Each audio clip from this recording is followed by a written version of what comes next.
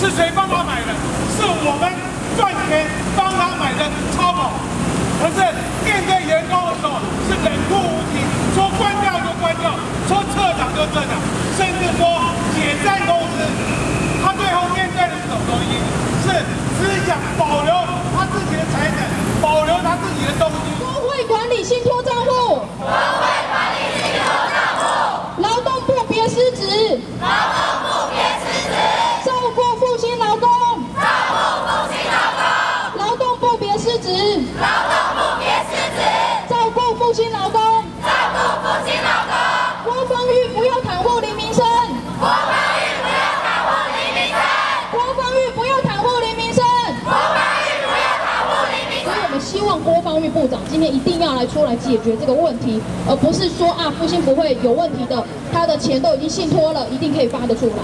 还有包括说现在复兴航空宣称说他有信托一笔六亿元的钱给劳工，那我们要求工会要来担任这个信托账户的管理人，那我们可以真正的确保这笔钱不会真的不见，好不好？这是第一个啊。那第二个呢，我们今天要来处理的就是现在昨天也有消息发生了，就是银行团不同意复兴航空解散公司，然后呢，林权部长也来出面说会尽可能的协助复兴航空继续营运下去。那如果公司还有营运的可能性，还有重整的可能性，那复兴航空就不可以擅自的把之前名册发出来。大家都有收到 email 对不对？之前名册全部都已经列出来了，你什么时候该离开公司，全部都列出来了。如果今天跟我认为复兴航空现在就是在抢时间，抢时间想赶快解散公司，所以呢，在事情都还没有明朗的状态之下，竟然就把名册送出来了。所以我们等一下有一个很重要的口号，就是反对官场，反对解雇。啊，如果公司有营运的可能性，你就要来跟我们谈说，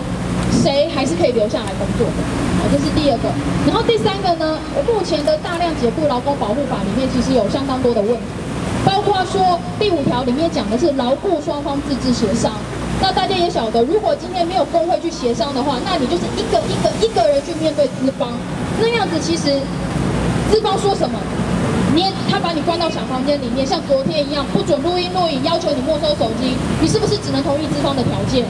所以我们认为大解法第五条里面这样子写是有问题的。如果事业单位有工会的话，所谓的劳资劳雇双方协商就应该是要直接跟工会协商，而不是跟个别劳工协商。所以我们今天最主要会有三这三个诉求，好跟大家说明一下。